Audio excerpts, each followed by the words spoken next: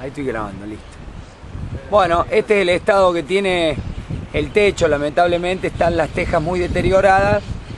Les entra agua, los chicos necesitan imperiosamente que esto se arregle. El estado de las tejas está, está, totalmente ya pasado, no, no, no, no sirve. Y bueno, estamos tomando imágenes para que de alguna manera podamos colaborar con la gente del Principito.